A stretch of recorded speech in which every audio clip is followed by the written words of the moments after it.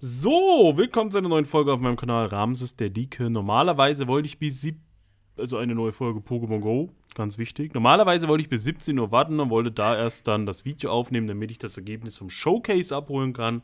Aber der Showcase geht heute nicht bis 17 Uhr, bis zum Ende des Sea-Days, sondern bis 20 Uhr. Und da kann ich nicht warten. Da kommt nämlich der zweite Teil der Marke Bauer Schärfe Challenge Premiere bei mir, wo wir die 2 Millionen Scoville Marke Bauer Soße testen. Gebauer, Gebauer, Gebauer.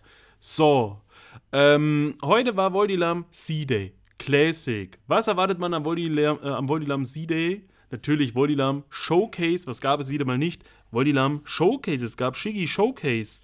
Aber letzten Sea Day war das ja auch schon irgendwie verbuggt, dass es auch Shiggy einfach war. Mein Problem war, ich habe kein einziges Shiggy gehabt. Ich war aber schlau. Ich habe mal meine kleinen Accounts durchgeguckt da hatten die meisten aber auch keinen Shiggy. Ich habe mir dann einfach irgendwelche random Shiggys rübergetauscht und kann jetzt voller Stolz sagen, ich habe jetzt drei Shiggys platziert in Showcases. Die sind alle Platz 1, obwohl die meisten davon richtig grottige Werte haben.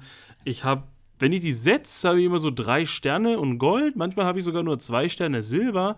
Es war das erste Mal, dass ein Shiggy nur einen Stern gekriegt hat bei der Bewertung. Also das, die müssen wirklich mega schlecht sein. Wenn ich Glück habe, hat kein anderer einen Shiggy oder kriegt das nicht mit oder war das gar nicht auf dem Schirm und ich räume trotzdem dreimal Platz 1 ab. So, habt ihr Showcase gemacht?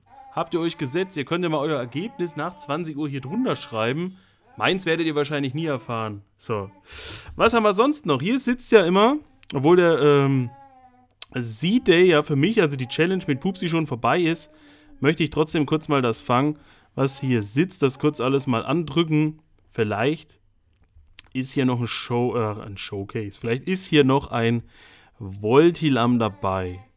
Ja, es ist immer schwer, sich zu konzentrieren. Normal ist man alleine, aber jetzt ist hier die ganze Stube vollgesetzt. Das Muttertier sitzt da auf dem Sofa, die Sandra sitzt da auf dem Sofa, Pupsi sitzt auf dem Sofa, der kleine Pup sitzt auf dem Sofa. Also es sind so viele Leute. Ich, ich denke bestimmt, was ist das denn für ein großes Sofa? Hallo. Wir fangen das jetzt weg, so wie wir es eigentlich immer wegfangen. Manchmal haben wir Glück, da ist noch ein Shiny dabei und genau das gleiche habe ich wahrscheinlich eben schon gesagt. So, wir haben unsere Challenge wieder gemacht. 14 Uhr hat das C-Day angefangen. Wir haben wieder gespielt, wer, hier ist ein riesiges, was man ja perfekt in den Showcase setzen kann, wer kriegt das erste Shiny? Das erste Shiny diesmal hatte Pupsi.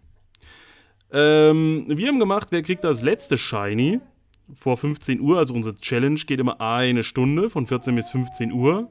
Da habe ich kurz vor 15 Uhr noch ein Shiny bekommen. Der Sieg war mir sicher. Plötzlich kriegt nach mir Pupsi ein Shiny, nach ihrem Shiny noch ein Shiny. Sie hat ein Back-to-Back-Shiny bekommen und damit hat sie auch das letzte gehabt äh, um 15 Uhr rum. Insgesamt hat sie fünf Shinies bekommen.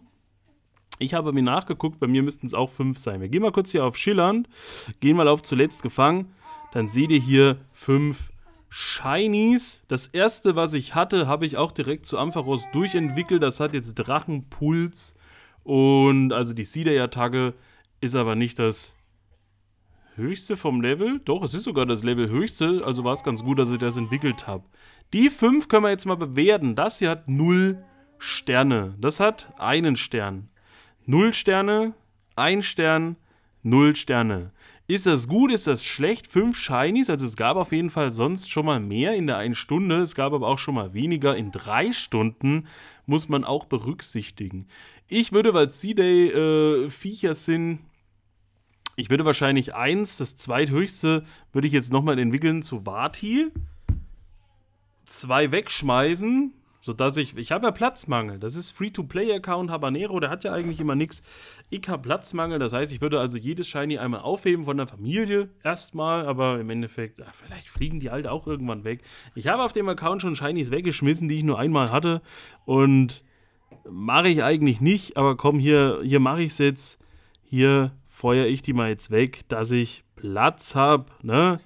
So, also drei braucht man für die Familie, das passt. Habe ich denn ein viersterniges bekommen? Ich habe noch, nicht äh, noch nicht alles bewertet. Wir gehen mal rein auf vier Sterne. Da ist nichts dabei. Das ist nach Fangdatum sortiert. Die letzten Sachen, die ich bekommen habe, ist hier Julchen. Das war aus einer Feldforschung. Und hier dieses Dragoran, was aus einem Tausch kam. Es war kein vier Sterne, also kein hundertprozentiges dabei. Versucht nicht jedes während des C-Days zu bewerten. Spielt den C-Day und wenn ihr fertig seid, gebt vier Sterne ein. Also vier und Sternchen, dann seht ihr ja, ob ein hundertprozentiges dabei war. Haben wir ein XL bekommen? Haben wir was anderes? Wir können erstmal XXS eingeben. Da ist nichts, da ist ein kleiner Iswo, also ein Shiny Schlurp. Haben wir XL. Da haben wir ein Voltilam. Hier ist ein Quacks in XL. Und hier ist ein Voltilam in XL, das ist 0,81 Meter groß. Haben wir aber auch ein XXL, da geben wir nämlich noch ein X zusätzlich ein und sehen, wir haben zwei XXL Voltilam. Wir haben ein XL und wir haben zwei XXL, das heißt, wir haben drei große, fette. Das wäre richtig cool gewesen. Ich habe sogar hier ein XXL Dragoran. Guck mal, wie groß das ist. Das hängt ja aus dem Bild raus. Also, hätte es Voltilam Showcases gegeben, hätte das mega gut gepasst. Guckt, wie fett das hier ist. 0,97. Und das hier ist 0,98. Das ist das größte das durchentwickeln, mal zu einem Ampharos mit Attacke. Eigentlich ist es egal, ob das groß oder klein ist, aber wir lassen es einfach so. Es wird wahrscheinlich eh weggeschmissen. Wir können noch mal ganz kurz gucken. Ich glaube, ich habe noch keine verschickt. Wenn wir Voltilam, Voltilam und Alter 0 eingeben, seht ihr, dass ich heute 151 Voldilam gefangen habe. Die erste halbe Stunde vom C-Day musste ich gefühlt ja mit dem, äh, mit dem Gotcha spielen, weil die ganzen Levelaufstiege durchgelaufen sind und die musste ich, die Animationen mussten angezeigt werden, dass ich die Punkte kriege. Deswegen hat das Gotcha im Hintergrund gefangen. Das hat sicherlich auch einige fliehen lassen, flüchten lassen. Die letzte halbe Stunde konnte ich dann nur per Hand spielen.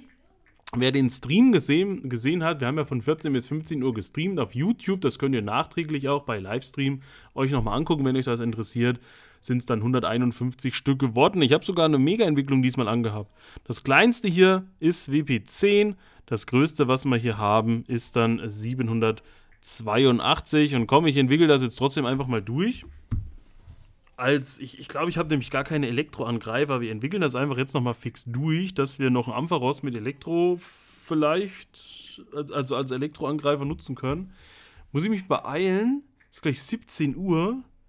Obwohl die Event-Tage geht ja, glaube ich, sowieso noch bis 19 Uhr oder so.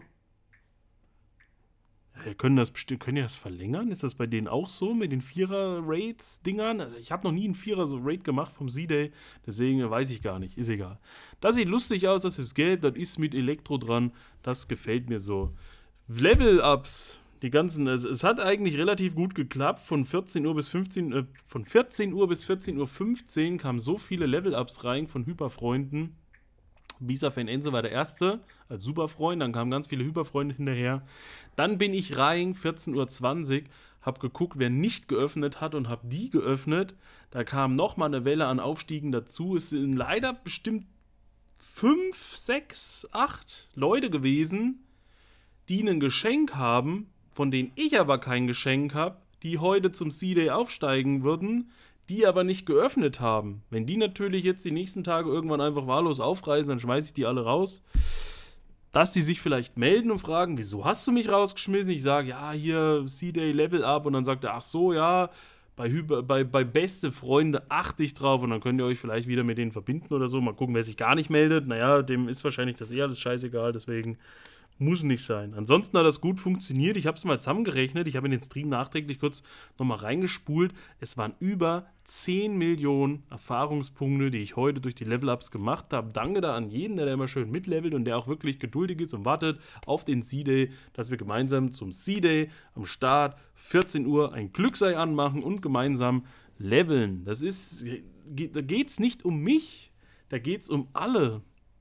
Es gibt viele, die brauchen die Erfahrungspunkte, die haben ein niedriges Level und die freuen sich, wenn ihr da Rücksicht nehmt und wirklich am C-Day gemeinsam levelt. Und wenn euch die Erfahrungspunkte sowieso egal sind, dann holt die doch nicht einfach vorm C-Day eine Stunde ab, ohne Ei und sagt, ist uns doch egal. Dann denkt doch erst recht an die anderen. Wenn es euch egal ist, dann überlasst doch den anderen einfach die Wahl und gebt dem ein Geschenk, dass der selber öffnen kann, wenn er die braucht und möchte.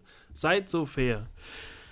Ansonsten weiß ich nicht, was gibt's noch zu sagen? Eigentlich nix. Also wir haben XXL, XS, alles abgecheckt, Chinese, Sterne, sonst was. Jetzt ist ein Fergoli noch zurückgekommen, Showcase sitze ich noch, aber kann ich jetzt nicht auswerten. Wir haben heute mega Entwicklung dran gehabt, 10 Millionen Erfahrungspunkte gemacht, viele Leute aufgestiegen und das Wetter hat auch gepasst. Beim, die letzten zwei Z-Days hat es halt übelst geregnet die ganze Zeit. Es war richtig bescheuert. Diesmal, es war trocken. Also als wir fertig waren, 15 Uhr, waren, kam ein kleiner Schneeregen, der war aber auch relativ schnell wieder vorbei dann. Aber da waren wir eh schon fertig. Aber ansonsten hat man gemütlich eine Stunde spazieren. Ne? Die, das Muttertier hat ja den Kinderwagen geschoben und wir haben dann unsere Challenge gemacht, 14 bis 15 Uhr. War okay, war entspannt. Der nächste Siede ist ja dann im Dezember, ich glaube 16er und 17er oder so. Oder 15er und 16er. Also der Super C-Day mit dem Best-of vom ganzen Jahr. Das wären dann zwei Tage. Mal gucken, was ich da für Ziele habe. Wahrscheinlich gar keine. Und was sie da mit Showcases machen. Weil die können ja nicht einfach 20 verschiedene Pokémon Showcases packen. Am besten sie machen wieder Shiggy da kann man jetzt schon mal sammeln. Das war es jetzt ansonsten von meiner Seite aus. Wir sehen uns beim nächsten Mal wieder. Bis dahin, Peace out, Vorhaut, euer Ramses. Schreibt mal eure Ausbeute unten rein. War die erfolgreich? Wie habt ihr gespielt? Hat es Spaß gemacht? Ich fand es gut. Die Erfahrungspunkte, das Leveln. Jetzt habe ich ganz viele Voldilam, die ich für die Entwicklungsmedaille so ein bisschen nebenbei heute beim Wrestling oder so immer nebenbei entwickeln kann. Genauso wie hier das. Das muss ich fangen. Das kann ich nämlich dann auch entwickeln. Dieses Radfratz. Einfach fabelhaft.